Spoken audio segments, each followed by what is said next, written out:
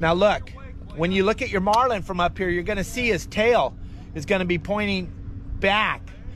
Six feet in front of that tail is probably where his face is.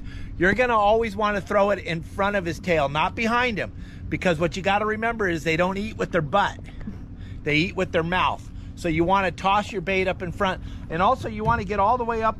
If you look at this rail up here on the bow, this rail's made for fishing. It's enforced, it's a little bit higher. You're gonna come all the way up here so that this rail is resting right here on your pelvis area, right where your big fat belly is. And then when it's resting right there, you're resting on this railing, you're locked in, you got your feet around like this, and you're locked in. We're just gonna pretend like this is a mackerel, okay? That marlin's right over there.